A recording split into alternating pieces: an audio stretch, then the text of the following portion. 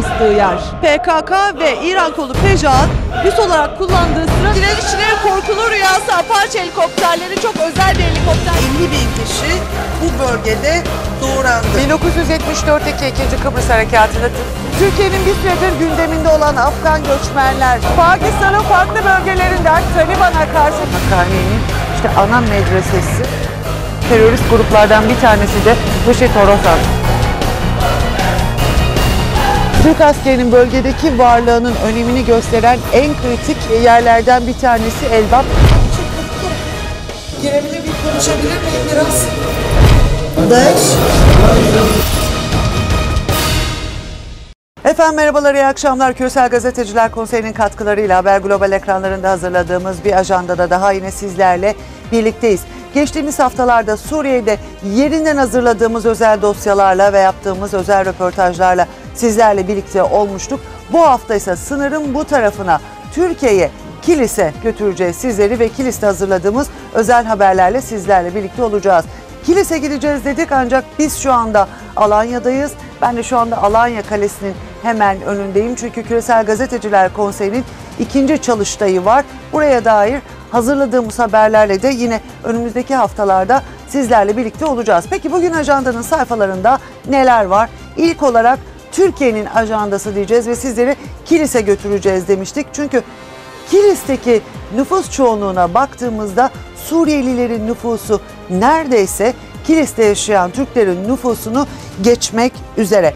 Evet Türkiye'deki yaşama adapte olmuşlar. Aralarında Türk vatandaşlığı alanlar var. Ancak savaş biterse ülkeme geri döneceğim diyenler de var. Öte taraftan Türkmen şehri Kilis'te geçici koruma statüsündeki Suriyelilerle değişen bir Kilis e, hayatı da var. Ona ilişkin hazırladığımız bir dosya gelecek. Ve bir sonraki sayfamızda ajandaya konuşanlar diyeceğiz. Türkmen kenti Kilis sevgili izleyenler. 2016 yılına kadar terörü bilmeyen, terörü görmeyen bir şehirdi.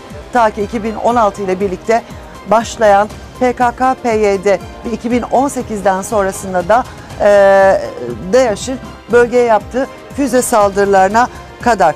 Kilis evet füzelerin hedefi haline geldi ve bu süreçte yaşamlarını yitiren şehitlerin yakınlarıyla ve bu saldırılarda gazi olanlarla konuştum. Evet sözde hem şehit hem gazi olarak adlandırılıyorlar ancak resmi olarak şehit yakını ya da gazi sayılmıyorlar.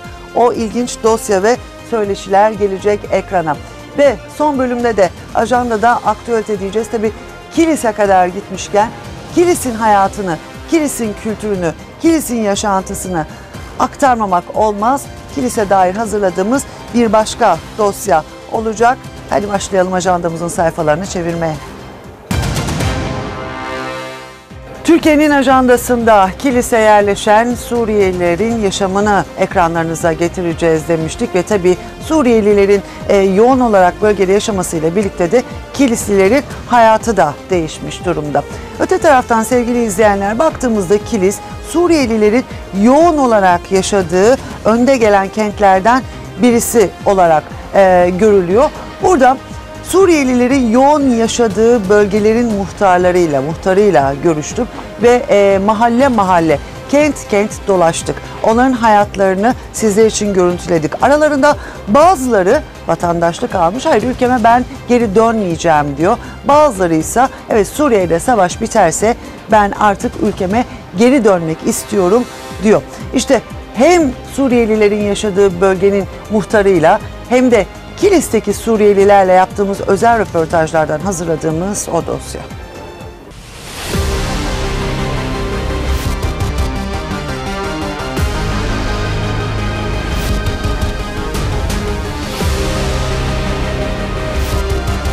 Kilis, Suriye'de 2011 yılında başlayan iç savaş sonrasında göç alan en yoğun kentlerden.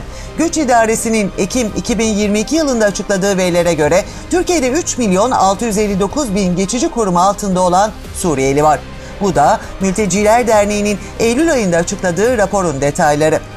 Rapora göre 2022'nin başından bu yana kayıtlı Suriyeli sayısı Türkiye genelinde 85.135 kişi azaldı.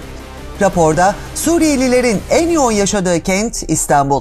İkinci sırada Gaziantep, üçüncü sırada Şanlıurfa, sonrasında da Hatay ve Adana illeri yer alıyor.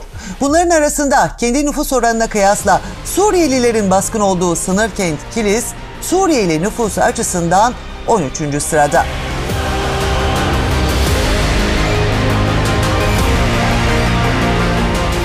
Geçen haftalarda Suriye'deki değişen dengeleri Türkiye'nin bölgedeki etkisini aktarmıştık. Bu hafta ise Suriyelilerin sınırın öteki tarafında Türkiye'deki Kilis'teki etkisini anlatacağız.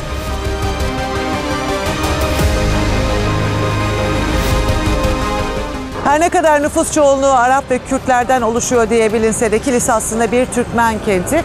Suriye ile sınırı olsa da 2016 yılına kadar terörün uğramadığı, halkının son derece sakin ve mütevazi bir hayat geçirdiği bir kentti burası. 2016 yılıyla birlikte başlayan terör saldırıları sonrasında halk içerisinde bir güvenlik tehdidi oluşmaya başlandı. Fakat sonrasında bu son dönemlerde özellikle güvenlik duvarının oluşturulmasıyla birlikte halk hayatını daha normal bir şekilde, daha sakin bir şekilde yürütmeye çalışıyor diyebiliriz. Ekonomi nasıl diye soracak olursanız, e, sınır ticareti adına verilen bir diğer adıyla kaçakçılık denilen şey yine bu güvenlik duvarının oluşturulmasıyla ve hendeklerin kazılmasıyla e, son bulmuş oldu. Dolayısıyla bu bölgeye yurt dışından Suriye üzerinden yüklü miktarda getirilen çay, şeker, pirinç olmayınca bu defa bunlarla uğraşan halk kendilerine başka meslek grupları, başka iş kolları, başka ticaret yöntemleri geliştirmek durumunda kaldılar.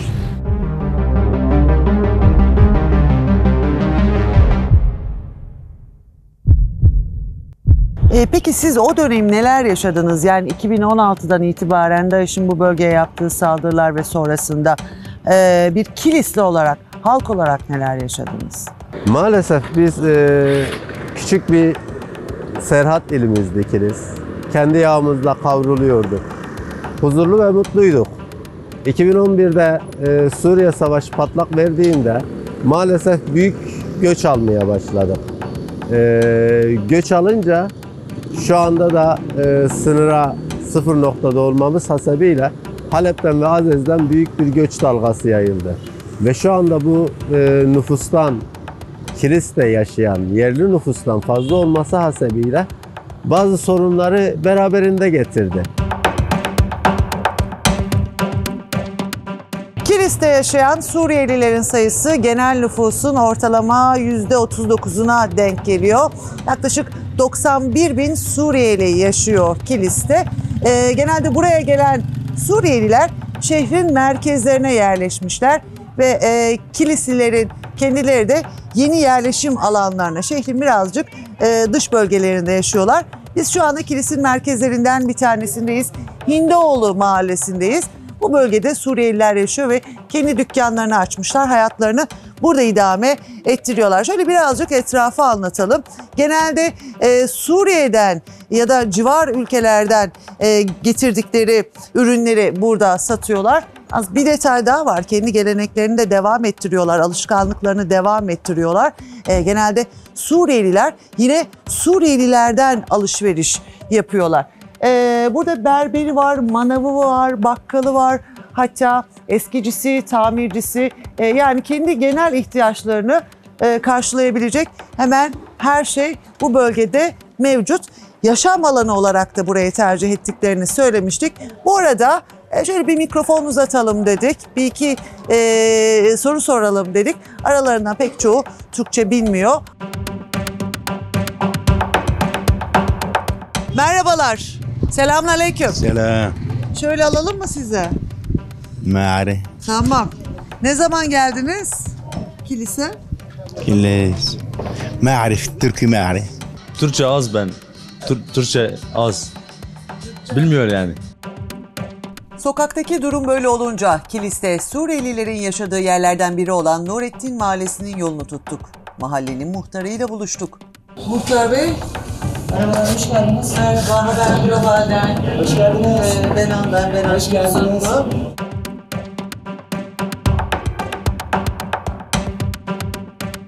Efendim bize biraz e, sizin mahallenizde olan Suriyelilerden bahseder misiniz? Mesela şu anda kaç Suriyeli yaşıyor e, sizin e, mahallenizde ve acaba buradaki yaşama adapte olabildiler mi?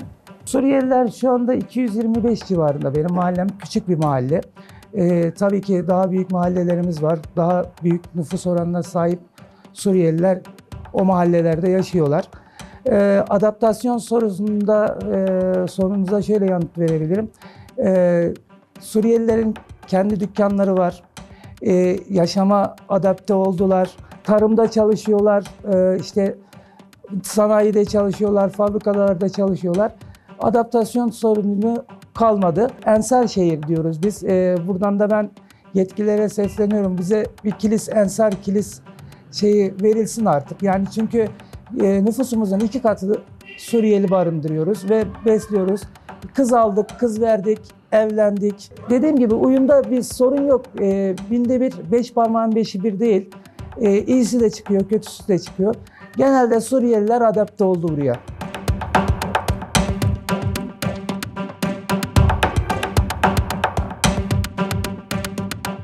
İşler nasıl? Şükür, elhamdülillah. Elhamdülillah. Türkçe konuşabiliyor musun? Biliyorum. Biliyorsun. Ha. Ne zaman geldiniz Türkiye'ye? 10 sene oldu. 10 sene. Türkçeyi nerede öğrendin? Burada. Burada öğrendim. Okuldan mı, televizyondan mı? Yok televizyon, telefon. Okula hiç gitmedim.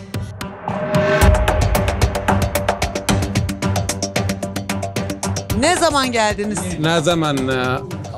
E, 7 sene. 7 sene. Ha. Peki kiliste hayat nasıl? Elhamdülillah çok güzel. İşler nasıl? Para kazancı nasıl? Elhamdülillah. Elhamdülillah iş güzel, elhamdülillah hayat güzel.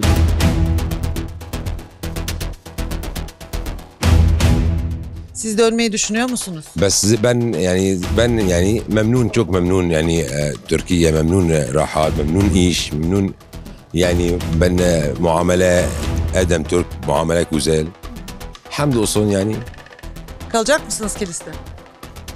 evet evet burada.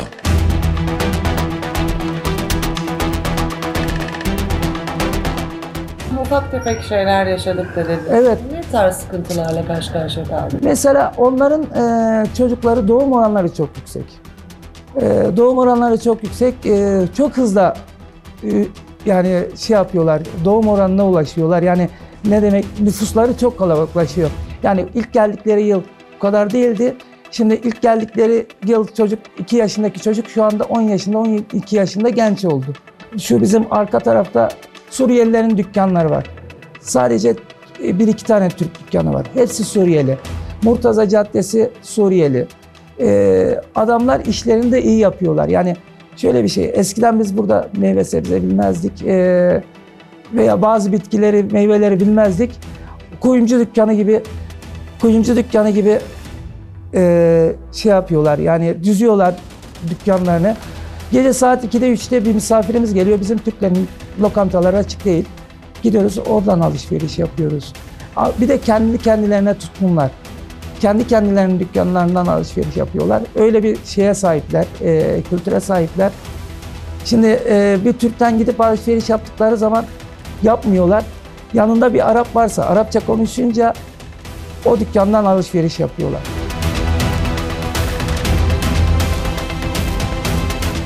Kaç kişi geldiniz? 6 kişi. Ee, annem, babam, iki tane çocuk. Şimdi iki tane asılar geldiler yine. Bu dükkan sizin mi? Benimki. Sen tek başına mı çalışıyorsun? Ha. Nasıl kazançlar? Mesela ne kadara tıraş ediyorsun? 30. Ne kadar? 30.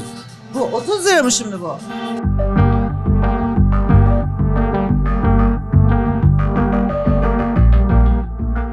Burada mesela Suriyelilerin ne gibi talepleri oluyor sizden muhtar olarak? Şimdi muhtar olarak şöyle bir şey. Devletimizin zaten yaptığı yardımlar var veya işte Avrupa Birliği'nden geldiği söyleniyor. Çocuk sayısınca evdeki e, 18 yaşından küçük insanlara bir Kızılay kartı verilmiş. 150 lira bunlara her ay ödenek yükleniyor. Zaten kalabalık aile.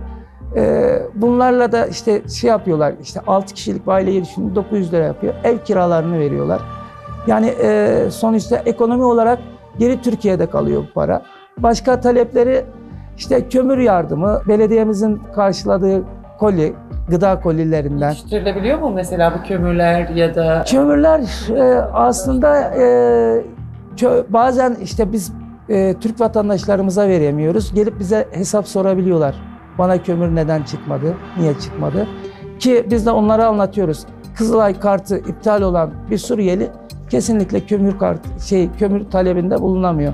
Okul kıyafetleri şöyle bir şey. e, muhtarlara bazı muhtarlarımıza şey geliyor, okul kıyafetleri geliyor. Ee, işte Avrupa Birliği'nden, Avrupa'dan diyelim, Hollanda'dan geliyor. Ee, bunları Türklerden başlamak kaydıyla onlara da yetiştirmeye çalışıyorlar. Mesela benim akşam başıma bir iş geldi. Geçen yıl çocuğuna okul kıyafeti vermişim. Bu yıl gözlemlediğim kadarıyla okul kıyafeti var. Okula da öyle gidiyordu. Sonradan iki tane çocuk geldi yanıma. Dedi ki ya öğretmenimiz bize okula almayacak. Dün akşam onları giydirdim. Ee, annesi bizim eve gelmiş. Bizim hanıma demiş ki e, ben- benim oğluma niye bu okul kıyafeti vermediniz?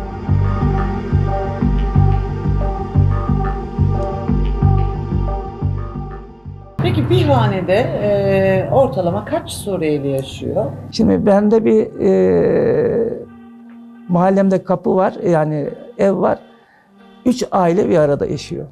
Üç aile dediğim yani kız kardeş, abi, üç aile bir arada yaşıyor. Toplam 22 kişi barınıyorlar. Sizin mahallenizde kayıt dışı Suriyeli çok görülüyor mu? Kayıt dışı devletimiz e, bakın burada da e, size göstereyim. E, ve şu anda bir e, göç göç idaresi müdürlüğünden göç idaresi müdürlüğünden e, den e, bir yazı geldi. E, hiçbir Suriyeli başka mahalleye taşınamıyor şu anda. Aslında bu da bir sorun teşkil ediyor. Mesela Suriyeli ev sahibiyle anlaşamıyor veya su e, kiracı kötü oluyor veya işte ev sahibi daha yüksek fiyata vermek için çık evimden diyor. Başka bir mahallede mahalleye kayıt yaptıramıyor. Öyle de şimdi en çok sıkıştığımız sorun bu. Bunu da kayıt almak için yaptı. Yani kayıt altına almak için yaptı geç, geç idaresi. Ama bu durum hiç iyi bir durum değil. Neden? Çünkü hani diyoruz biz ensarız. Tamam. Ev sahibiyle kavga etti veya Suriyeli şey oldu. Başka yere kaydını yaptıramıyor. Yani e, mesela iki adım ilerisi başka bir mahalle. Küçük küçük mahalleler burası. Kilis'in en eski mahalleleri. Diğer mahalleye kaydını yaptıramıyor. Ve ne oluyor? Bu sefer kaçak göçek yaşamaya mı teşkil ediyor? Ne yapıyor? Ben bu işi çözemedim gitti.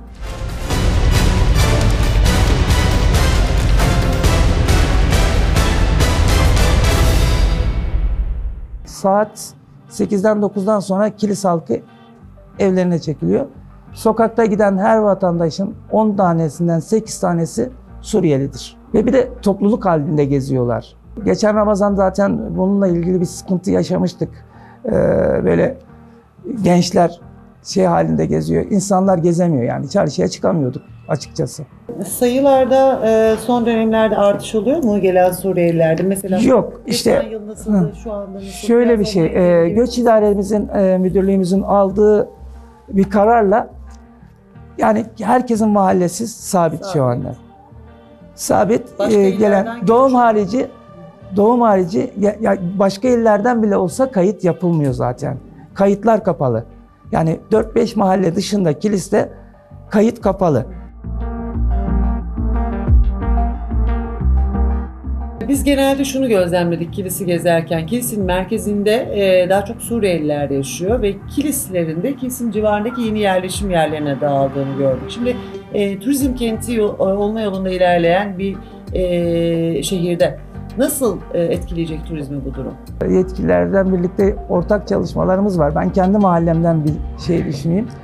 Ee, kültür turizm yolu oluşturmaya çalışıyoruz. Ama e, bunu işte dışarıdan gelen e, bir misafirimiz işte sorduğu zaman Ulu Cami nerede? Nurettin Mahallesi'nde Ulu Cami vardır. Suriyeli bilmez bunu. Dışarıya çıkınca yani üç adamdan ikisi Suriyeli. Yani bu. Yani nüfusumuz oldukça Suriyeli baskın geliyor.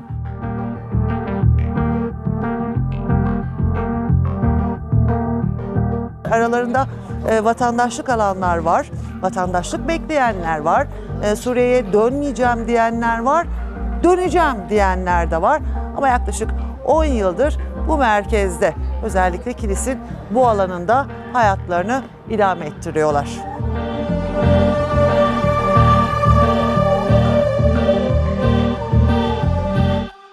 Yarın öbür gün giderler mi gitmezler mi bilmem. Çünkü e, neden? Sizce giderler mi? Bence gitmezler. Burada e, adaptasyon sorununu aşmış hiçbir Suriyeli gitmez. Çünkü burada e, Antep sanayisinde fabrikalar açtılar. Burada fabrikalar, tekstil yerleri açtılar. Kuyumcu dükkanları var, meyveci dükkanları var. E, bakkal dükkanları keza e, hangi mahalleye giderseniz gidin bakkallar Suriyeli burada. Kaç vatandaş var Suriyeli vatandaşı burada? Benim mahallemde iki tane. Ee, tabii ki benim mahallem küçük bir mahalle. Ama diğer büyük mahallelerde vardır yani. Bu sayı yükselir.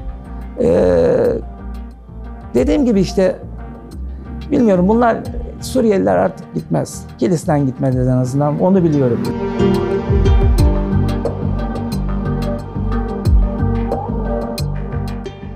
Vatandaşlık aldınız mı? Vallahi e, ben e, cema, e, izin çalışma var. E, ruhsat dükkan var. Her şey var. Bes yani e, gelmedi lise daha. Türk vatandaşı oldunuz mu? Ben amel var, e, kemrek var, hafız var. Elhamdülillah. Türk vatandaşlığı aldın mı? Evet vatandaş aldım. Kimlik kartın var mı? Var. Hadi bir görelim bakalım. Ne zaman vatandaşlık aldın? Şey 5 sene önce. Vatandaşlık aldın mı? Yok. Bekliyorsun. Yok geldi biz, biz e, ben istemiyorum. Dönmen gerekirse bu dükkanı ne yapacaksın? Bırakacağım kendine. Daha sonra muhtarla Suriyelilerin yoğun olarak yaşadığı semtte karıştık esnaf içine. Mahallenin adı neydi?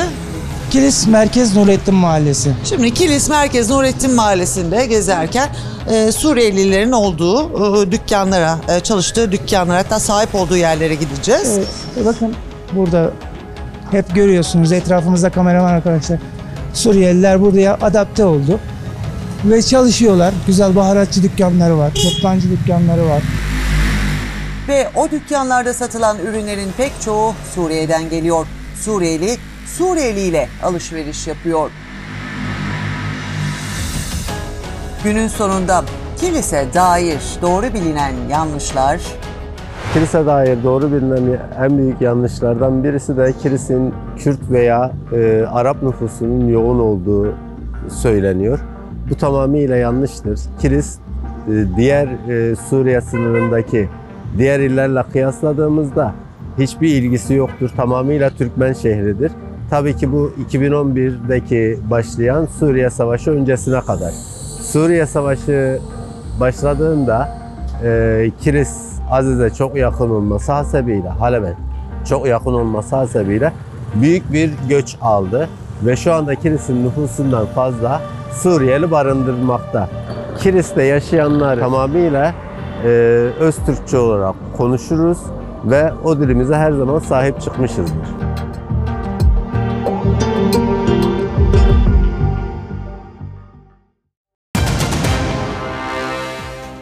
Ve ajandaya konuşanlar diyeceğiz. Sevgili izleyenler başta da aktardım. Kilis bir Türkmen kenti her ne kadar nüfus çoğunluğu Araplardan ya da Kürtlerden oluşuyor diye bilinse de tarihe baktığımızda evet Kilis bir Türkmen kenti ve 2016 yılına kadar ta ki PKK ve PYD'nin füze saldırılarının hedefinde olana kadar terörü bilmeyen bir kent. 2018 yılıyla birlikte de e, DAEŞ'ın saldırılarıyla birlikte bölgede çok sayıda sivil hayatını kaybetti ve o saldırılarda hayatını kaybedenleri yani şehit yakınlarına ulaştık ve yine gazilere ulaştık. Evet sözde bu kişiler şehit yakını olarak anılıyorlar e, ya da gazi olarak adlandırılıyorlar. Ancak resmiyette e, şehit ya da gazi statüsünde görülmüyorlar. Üstelik e, çalmadıkları kapı gitmedikleri yerde kalmamış bu konuyla ilgili. Hepsiyle e, hem şehit yakınlarıyla hem de gazilerle teker teker konuştum.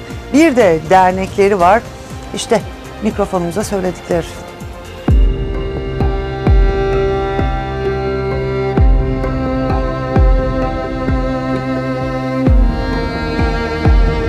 Kilis Cumhuriyet tarihi boyunca devletine milletine sadık bir şehir olmuştur. Devletimizden maddi hiçbir beklentimiz yok. Manevi olarak şehitlerin adına, bütün şehit yakınlarının adına ve gazilerin adına şehit sayılmasını talep ediyoruz. Devletimizden bunu talep ediyoruz biz. 6 yıl oldu. Gerçekten buradaki şehitler bu şehitliği hak ediyor. Ayşegül Polat, Sıdıka Mavzer, Mert Özkan, Hanifi Sağlam, Hatice Evran, Abdullah Kaçan, Emre Arslan, Hacı Abbas Çelik, Fatma Demir. 18 Ocak 2016 tarihinden itibaren onlarla birlikte toplam 25 sivil Suriye üzerinden kilise atılan roketli saldırılar sonucu hayatını kaybetti. Onlarca kişi de ağır yaralandı. Aralarında bebekler, çocuklar, yaşlılar vardı. O tarihe kadar hiç terör saldırısına maruz kalmamış olan Kilis, PKK ve PYD terör örgütlerinin hedefi oldu.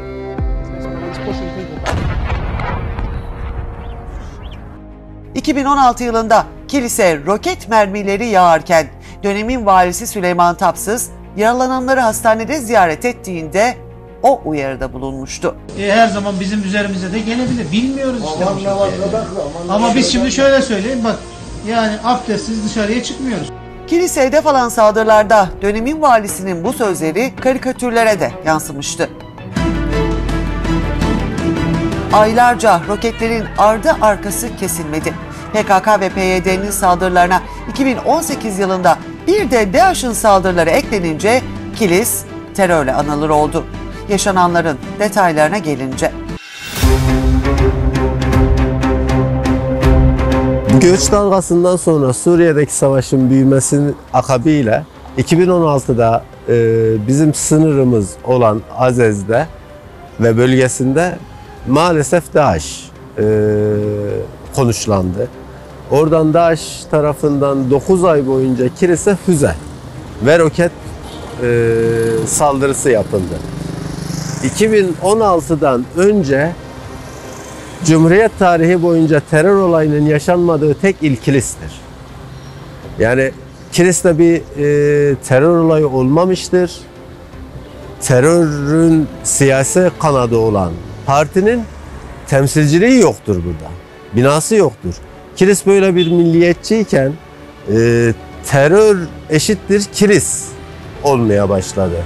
2016'dan sonra Fırat Kalkanı harekatı başlayınca o bölgeler DAEŞ'ten temizlenince biz çok şükür rahat nefes aldık dedik. Fakat bu defa 2018 yılında maalesef PYD tarafından Afrin bölgesinden Kilis tekrar bombalanmaya başladı. Bombalanmanın akabinde ise bu defa Zeytin Dalı harekatı başladı ve o bölgelerde e, PYD'den temizlenerek Kilis çok şükür istediği müreffeh bir hayata kavuşmuş oldu.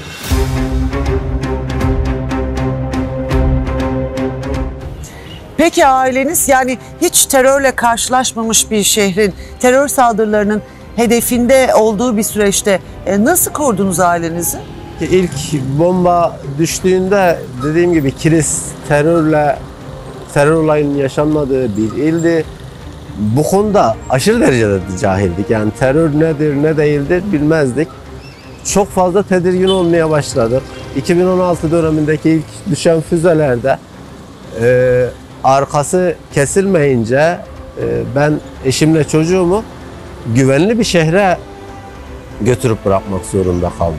Bombardımanın ardı arkası kesilmeyince ne zaman nereye düşeceği belli olmayan bir serseri e, füze veya roket olması hasebiyle ben benim gibi birçok kişi eşini, aile, e, çoluğunu, çocuğunu başka bir şehre götürerek onu güvene aldı. Kendisi burada işini idame ettirmeye başladı. Yani e, hatta o dönemde e, şöyle bir hatıramız var. E, Kilis'te bomba imha uzmanı bir polisimiz şehit oldu. O benim komşumdu. E, 24 dairelik apartmanda o dönemlerde sadece ikimiz yaşıyorduk. Su içmek isteyen bir insan büf- bir açık büfe bulup su alamıyordu. Her yer kapanmıştı. Yani sanki devlet tarafından boşaltılmış bir şehir e, izlenimi vardı ama herkes canının korkusundan kaçıp gitmişti. Normalde araç veya motosikletle giderken normal bir şoförün yapması gereken önüne bakmaktır. Bizim o dönemlerde yaptığımız tek hareket güneye doğru havaya bakıp nereden bir füze geliyor, nereden bir şey geliyor e, psikolojisiyle biz aylarca yaşadık. Bu sebeple birçok kişi e, kaza yapmak zorunda kaldı. Çünkü roketlerin, füzelerin nereden geleceği belli değildi. Huzur şehrinden korku şehrine dönen kent boşaldı. Hayat uzun süre durdu.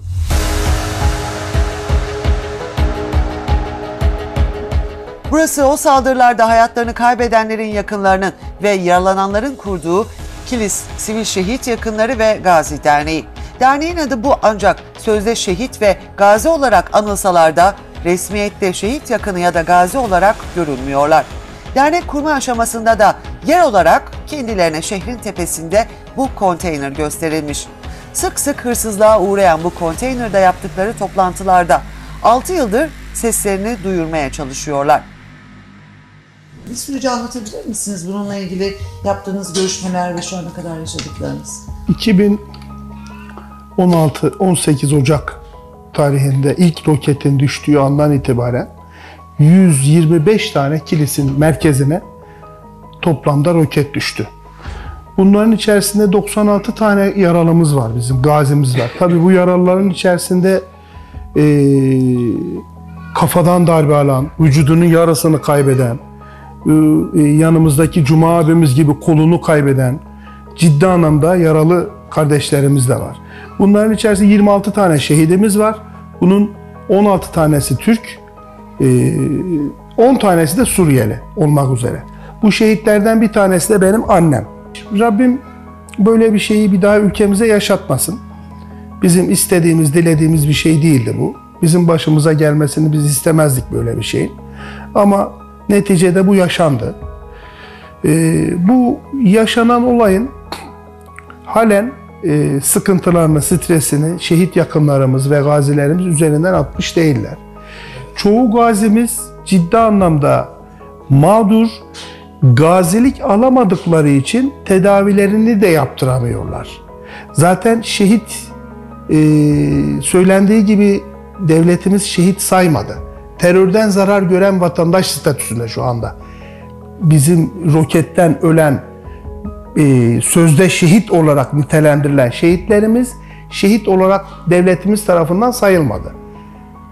Terörden zarar gören vatandaş statüsünde 5233 sayılı kanundan işlem görüyor. Roketten şehit olan şehitlerimizin şehit olduğunu herkes biliyor. IŞİD ve PKK-PYD dediğimiz unsurlar kilisimizin yani yanı başından kilise roketleri atmışlardı. 2016 yılı Nisan ayının, Nisan ayının 11'i idi. Ben ikindiden sonra akşam üzeri namazı kıldım. Ee, namazı kıldığım yerde bir tane evimizin üst yanına bir roket düştü. Hemen ben namazı acele bitirdim. Dedim yaralı varsa gidim yaralı götürüm dedim. Kapının önüne hemen çıktım. Hanım da arkam sıra çıktı. Hanım dedi ki gitmeyin bir daha düşerdi. O anda üzerimize düştü. Bilmiyoruz. Toz duman olduğunu gördüm. Öte yanını bilmiyorum. Yani beni kaldırdılar. Ancak elimin yani kolumdan ateş yani yakıldığını biliyorum. Başka bir şey bilmiyorum. Kolum baktım tutmuyor. Onu biliyorum. Ondan sonrasını hastanede olduğumu gördüm. Ve kolumdan parça girmiş. Buradan böyle çıkmış. Kalbimin üzerinden değmişti. Öldürmeyen Allah öldürmedi. Şehitlerimiz mekanları cennet olsun. Biz gazi olarak kaldık.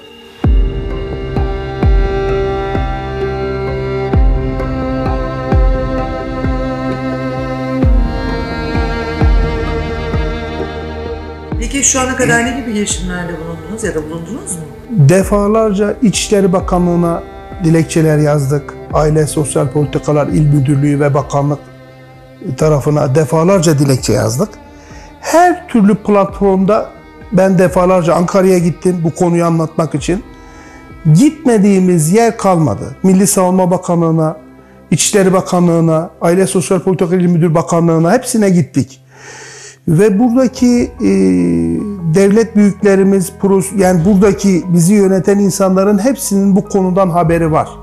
Ve bu zaten bizim anlatmaya çalıştığımız olay bu düşen roketler Türkiye Cumhuriyeti Devleti'ne düştü. Bu Kilis Türkiye Cumhuriyeti Devleti'nde bir il. Suriye'nin ordusuyla muhalifler birbirine burada girmişlerdi sınırımıza. Hep mermiler kilise vatandaşlara geliyordu. Onda da büyük sıkıntı yaşamışlar.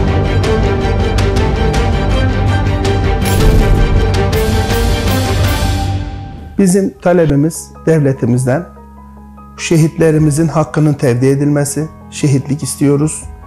E, gazilerimize de, yaralı olan gazilerimize de, tedavisi devam etmekte olan gazilerimize de gazilik istiyoruz. Bu sorunumuzun ciddi anlamda üzerine artık düşülmesini istiyoruz. Bizim dayanacak sabrımız kalmadı. Bunlar şehitse şehit densin. Şehit değilse de bize şehit değil densin. Ama devlet büyüklerimizin buraya gelip de bunlar şehittir diye nitelendirip e, bu şehitliklerini vermemesi bizim şehit yakınları olarak çok zorumuza, ağrımıza gidiyor. Rabbim e, bayrağımızı dindirmesin, e, vatanımıza, milletimize zeval vermesin. Biz böyle bir şeyin olduğunu istemezdik. Yaşananların üzerinden 6 yıl geçmesine rağmen mücadeleleri devam ediyor.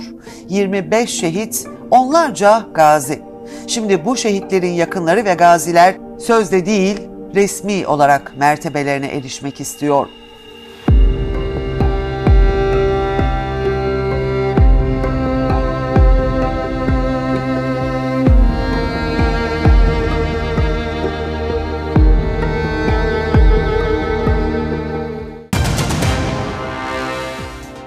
Ajandada aktualite diyeceğiz şimdi. Tabii kültürel anlamda çok zengin olan Kilis'e gitmişken Kilis'in kültürünü, geleneklerini, damak tadını, yaşantısını da aktarmadan, görüntülemeden olmaz dedik. İşte Kilis'e dair detaylar.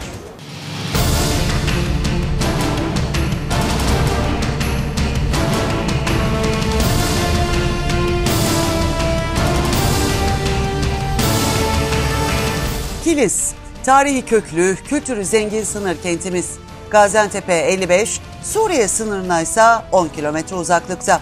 Her ne kadar nüfus çoğunluğu Araplardan ya da Kürtlerden oluşuyor diye bilinse de aslında bir Türkmen kenti.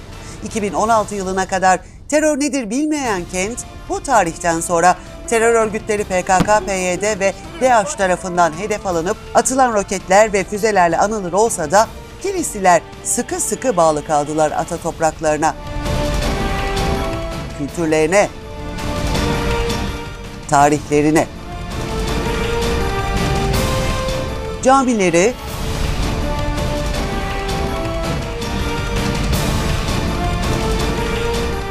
türbeleri, yemekleri,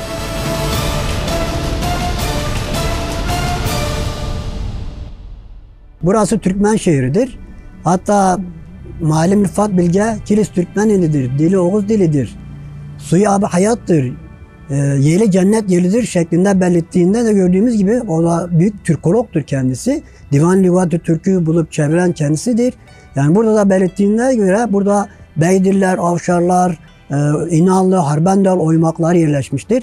Hatta burası Halep Türkmenleri olarak geçmektedir. Hatta burada kimse Arapça bilmez, konuşamaz bile Arapçayı. Şu anla kıyaslarsak nüfusu, mesela Türkmen nüfusunu önceden nasıldı, şu anda nasıl? Vallahi şimdi eskiden daha fazlaydı. Şu an Arapların buraya gelmesiyle bu muhacirlik durumuyla şu an denk oldu yani. Yani o biraz sıkıntı yani artık ileride nasıl bir durum getirir onu da bilemiyoruz yani.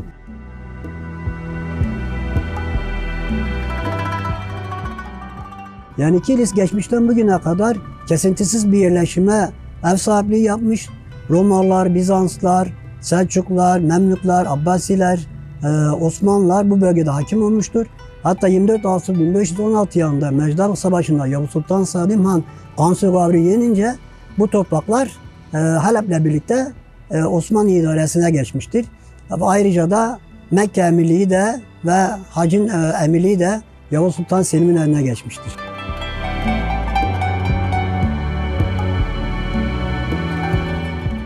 Kilis'in en önemli yapıları e, iki tane Memlük eser var. Bir tanesi Ulu Cami, biri Pirlioğlu Cami, hatta bir tane daha var, üç tane Alacacı Camisi. Bunlar cami olarak. Bir de mesela Ulu Cami'den sonra en önemli eserimiz e, bu Teke Camisi. 961 yılında, 1553 yılında Can Polat Bey tarafından yaptırılmış. Bir yerin şehir olabilmesi için hamamının, pazarının ve camisinin olması gerekiyor. Bu üçünü de kendisi yaptırmış. Kilisi imar ettirmiş. Onun haricinde zaviyelerimiz var, türbelerimiz var.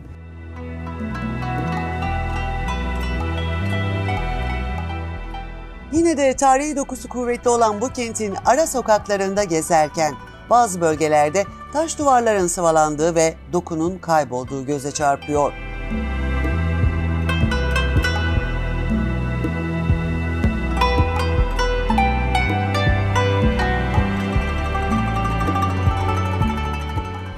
İl olana kadar çok yer dağıldı. Mesela bazı çeşmeler yıkıldı, eski tarihi evler yıkıldı.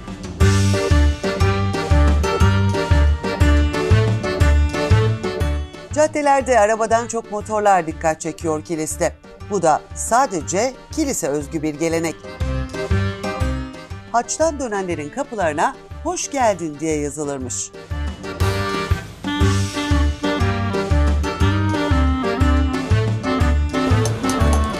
Tarih ve kültür hayatın farklı alanlarında yaşatılıyor. Giyim kuşamda da. El yapımı Yemeniler hala giyiliyor kiliste.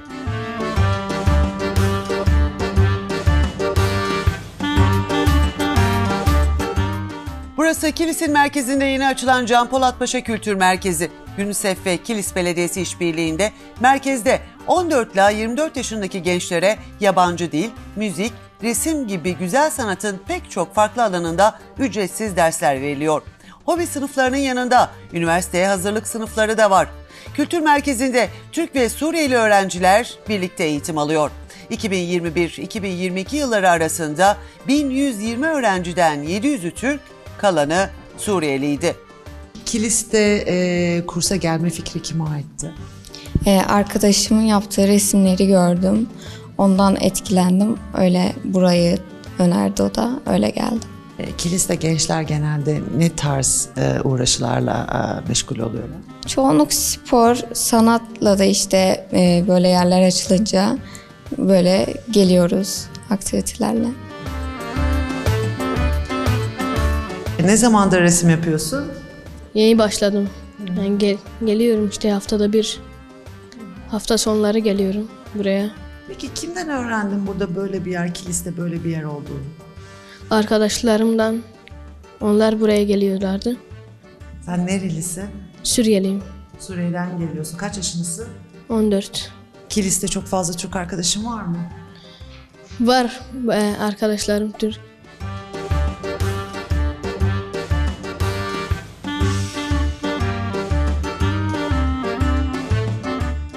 Öğrencilerin ilgisi nasıl İngilizceye? Evet, son sıralarda öğrencilerin ilgisi e, İngilizce kursuna an be an katkıda bulunuyor ve artmaya başlıyor. E, üniversitenin de başlamasıyla birlikte üniversiteli öğrencilerimiz de artık katılmaya başlıyor. E, kurumumuz 14-24 yaş arasındaki gençlere hitap ediyor.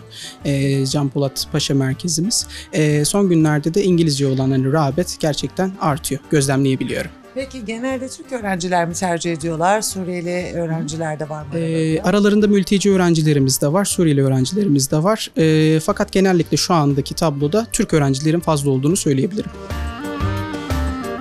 Kilis'te böyle bir kurs olduğunu ne zaman öğrendin?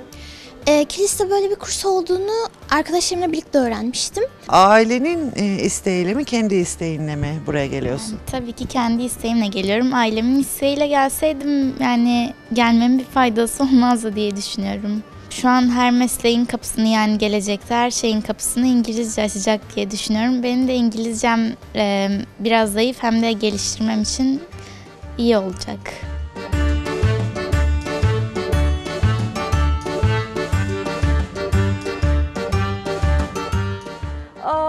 çatal olur Efelerin yüreği Burası da kütüphaneleri.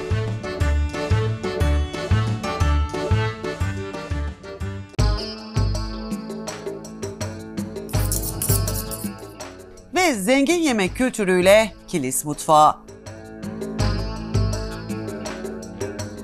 Uğur Usta bugün Kilis'in hangi meşhur yemeğini yapacaksın bizlere? Kilis tava yapacağız efendim. Kuzu boşluğundan sırf kıymasıyla size boşlukta yapıp fırına süreceğiz. Arkasından da inşallah kısmet olursa oruğu yapacağız. Peki ne kadar süre alacak Kilis tava yapması? Bir dakikamızı alır fırında pişmesiyle çekimiyle. Lezzetli yapmanın eee, püf noktaları nelerdir? Özelliği kuzu boşluğuyla. Siniri ayıtlanmış. Koyun eti erkek etiyle olursa daha lezzetli olur. Sırf kıyması tabii ki makine kıymasına göre çok süper olur. Farkı suyu içinde kalır efendim. Tava olarak en lezzetli sudur. İçerisine etimizi çektikten kere kırmızı biber, yeşil biber, soğan, sarımsak baharatını ekleriz.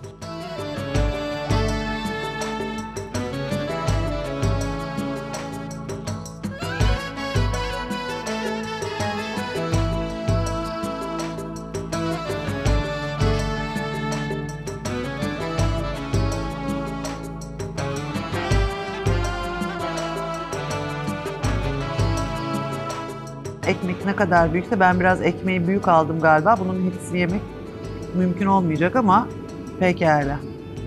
Aldım galiba değil mi? Oranı tutturdun mu? Tamam. İdare eder. İdare eder. Yiyelim afiyet olsun. Üstüne katmeri cennet çamuru.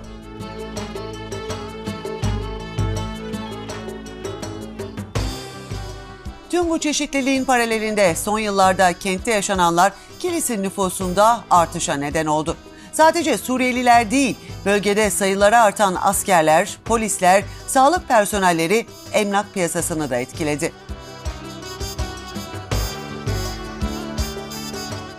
Kilis'te e, güvenli bölge oluşturulduktan sonra e, tabii ki oradaki gelen e, kişi sayısı kiralık ev talebini bayağı bir e, artış sağladı.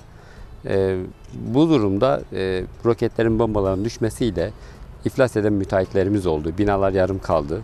E, bunlar da satılık evlere talebi e, bayağı bir azalttı. Müteahhitlere olan güveni de azalttı. E, müteahhitler ev yapamaz oldular. Ve dışarıdan memur e, tayinleri de olunca kiralık evlerde bir patlama oldu. Müteahhitler de ev yapamayınca bu durum kiralık evde bir sıkıntı yarattı. E, fiyatları arttırdı. İnşaat maliyetlerine gelen maliyetlerden dolayı müteahhitlerimiz ev yapamaz oldu.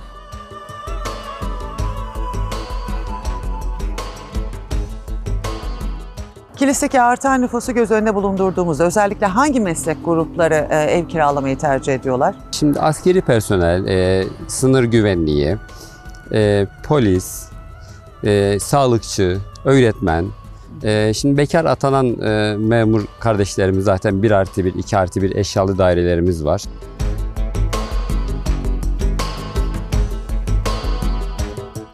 Şimdi zaten burada atama çok olduğundan dolayı polis, asker, sağlıkçı, e, insanlar tayinci bunlar e, genelde almak istiyorlar. Zaten yerel halk şu anda ev alamıyor. E, çünkü eskiden burada bir sınır ticareti vardı. Sınır ticaretinden dolayı insanlar bir gelir elde ediyordu, kazanç sağlıyordu. E, şu anda bu durmuş durumda. Burada ancak e, artık yani tek maaşlı insanlar bile ev alamıyorlar. Suriye sınırına duvarlar örülünce, hendekler kazılınca, terör tehdidi nispeten azalınca Kilis şimdilerde tekrar ayaklanma sürecinde. Kendi kültürlerini ayakta tutma çabasında. Hiçbir zaman burada ne bir terör olaylar oldu. Çünkü buranın halkı birbirini tanıyordu. Mesela eskiden mahalleler daha küçüktü. Yani amca, dayı, kardeş hepsi yan yana yaşadığı için yani yabancı kimseler yoktu. Yani şimdi biraz belki bozulmuştur ama yine de yani asayiş bakımından hiçbir sıkıntımız yok. Ta ki şu işit olaylarında buralara bombalar düştü. Yine biz memleketimizi bırakıp gitmedik yani. Çünkü bu topraklar bırakılacak yer değil. Dedelerimiz bunu kanıyla almış. Biz burayı bırakıp gidemeyiz yani. Yani o yüzden sıkıntı yok. Herkes rahatça gelebilir yani.